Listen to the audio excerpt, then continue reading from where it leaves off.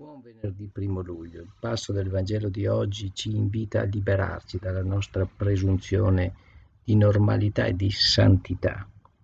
Ci porta all'essenza universalistica del messaggio di Gesù che si rivolge a tutti, in particolare ai peccatori, ai reietti, ai diversi.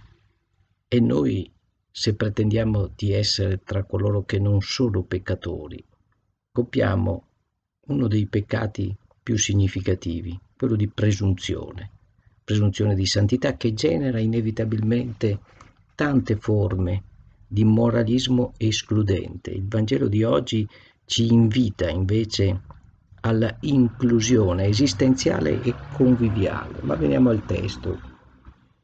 Dal Vangelo secondo Matteo. In quel tempo Gesù vide un uomo chiamato Matteo seduto al banco delle imposte. Qui è già un passaggio importante perché sicuramente allora come oggi le imposte non erano amate dal popolo. Qui è un pagano che in più siede al banco delle imposte e gli disse seguimi ed egli si alzò e lo seguì. È semplicemente la rappresentazione perfetta della semplicità dell'invito di Gesù e dell'azione alla quale noi siamo chiamati, seguire, non fare grandi dissertazioni, semplicemente seguire, indipendentemente dalla nostra consapevolezza di essere peccatori, perché Gesù ci accoglie sempre e comunque se però noi siamo disponibili ad alzarci e seguirlo. Mentre sedeva a tavola nella casa, sopraggiunsero molti pubblicani e peccatori e se ne stavano a tavola con Gesù e con i suoi discepoli.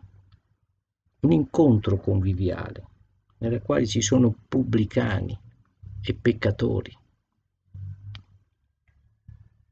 Vedendo ciò, i farisei dicevano ai suoi discepoli, i farisei, i moralisti di ogni tempo, la nostra ipocrisia intrinsecamente presente nel nostro cuore e nella nostra mente.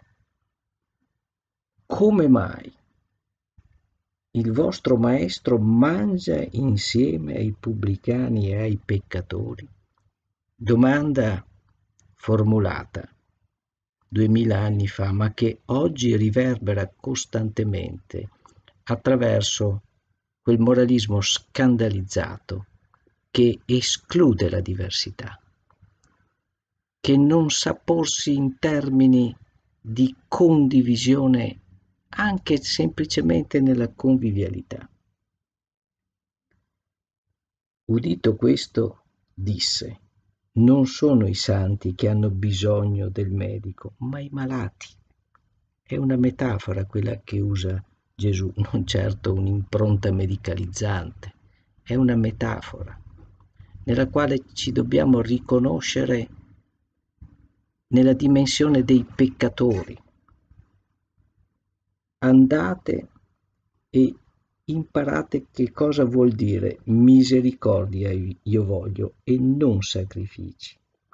Io non sono venuto a chiamare i giusti, ma i peccatori. E qui sorge anche una domanda. Quale pretesa noi possiamo far sorgere di essere coloro i quali possono dichiararsi giusti?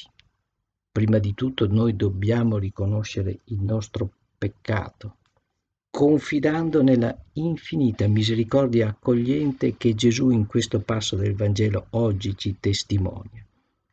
L'infinita benevolenza e misericordia di Dio, che passa attraverso Gesù e che testimonia la disponibilità dell'accoglienza. Questo brano del Vangelo oggi ci porta proprio al tema dell'accoglienza della diversità, del riconoscimento coraggioso del nostro essere peccatori, aperti a seguire Gesù in un'opera di conversione costante. Gesù ci accoglierà, non ci giudicherà, se noi siamo disposti ad alzarci dal luogo nel quale sostiamo e seguirlo con animo aperto, disponibile ed accogliente. Buona giornata a tutti.